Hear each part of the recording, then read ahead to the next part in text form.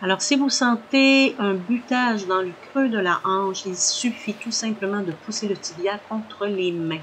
Vous allez voir, ça va euh, enlever de la tension au niveau de l'aine. Votre dos est bien long et votre respiration est profonde et calme. Les deux cuisses sur la poitrine maintenant, même chose. Essayez d'aller porter votre souffle dans le dos avec un dos allongé, bien appuyé, calme surtout. Vous allez prendre avec votre main droite le pied gauche. Cela étant dit, ce n'est pas une obligation d'accrocher le pied avec la main.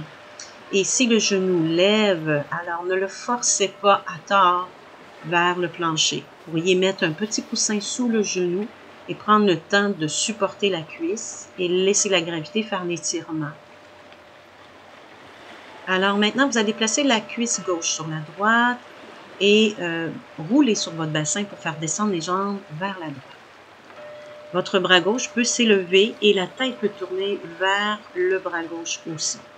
Très important de sentir un étirement confortable. Ça ne doit pas faire mal au dos, ça ne doit pas faire mal aux hanches non plus. Alors, allez moins loin si euh, vous sentez des inconforts.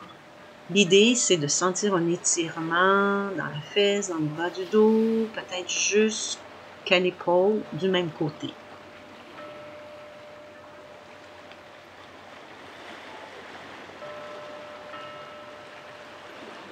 Maintenant, vous allez redresser tranquillement et nous allons nous asseoir dans la posture de l'angle lié.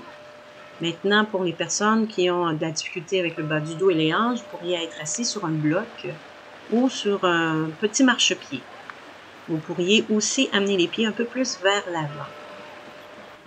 Une fois que vous êtes bien installé, essayez de vous allonger, mais cela étant dit, c'est facultatif. Vous pourriez garder les mains derrière votre dos et juste vous assurer d'étirer la colonne vertébrale vers le ciel. La respiration est toujours libre, profonde, ample. On se redresse euh, toujours en restant assis sur notre marchepied ou sur une chaise. Étirez les bras vers le ciel et la main droite va prendre le poignet gauche et vous allez tirer tout le côté gauche. Respirez profondément. Même chose de l'autre côté. La main gauche prend le poignet droit et assurez-vous que les coudes soient droits. Maintenant, tout simplement déposez vos mains sur les genoux et respirez.